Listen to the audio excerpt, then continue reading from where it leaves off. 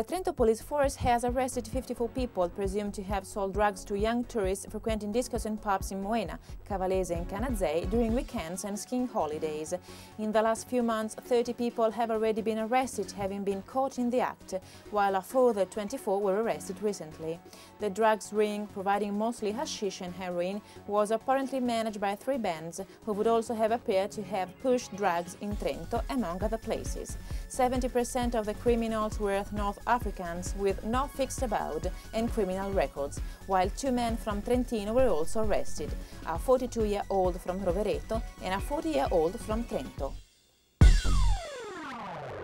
After a week of prevention, the municipal police in Rovereto have begun to apply the order issued by the mayor, which bans begging but does not punish street artists. The municipal government has decided to ban begging in some areas of the city.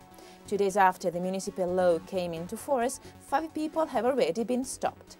The fine for those discovered begging outside supermarkets, cemeteries and churches or in the historic centers of Rovereto, Lizzana, Lizzanella and Sacco goes from 25 to 500 euro.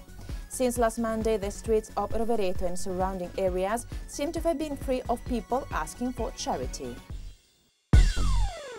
The Constitutional Court's decision on the appeal by some gay couples to obtain the right to get married has been postponed until after Easter, the issue of gay marriage thus returning once again to the fore.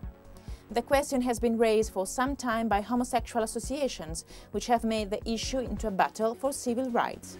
In Trentino, Enrico Oliari, president of Gay Lib, who hopes to marry his partner Lorenzo in a civil ceremony, is awaiting the decision of the court. After the deferment decided by the court, many positive comments have arrived. According to various associations, the court has wisely decided to make its ruling after the regional elections, thus avoiding the pressure of the electoral campaign.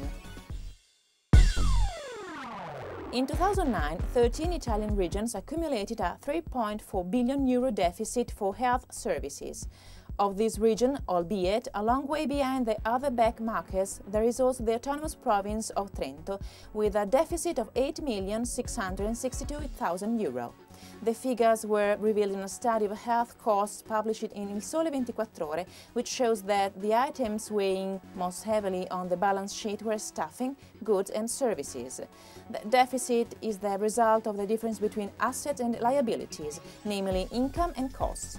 Between 2003 and 2008, Trentino accumulated a health deficit of 41,525,000 euro, whereas Alto Adige kept almost 91 million in the provincial coffers.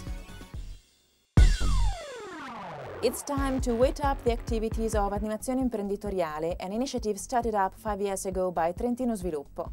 The project has seen more than 2,350 participants, drawing up almost 200 business plans and standing up 100 new business enterprises. In order to implement the project, 174 promotional evenings were organized in the same number of municipalities. The scope was to create micro-businesses, starting from the outskirts, away from the area of the Adige. The heads of Trentino Sviluppo launched Animazione Imprenditoriale, establishing it alongside traditional activities in the property market. For the project managers, the initial results represent a sign of faith. Thanks to a woman from Merano who appealed against a fine received as the result of a speed camera in Lagundo, Alto Adige, it would appear that some municipalities in Alto Adige must return 5 million euro coming from illegitimate fines to motorists.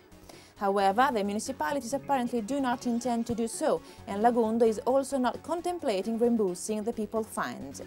The question is particularly delicate and the Consumer Protection Center has decided to launch an offensive, preparing the first-class action in Alto Adige. In the meantime, those who received fines due to speed cameras between 2005 and 2006 in the municipality of Egna and Lagundo can contact the center to provide their details.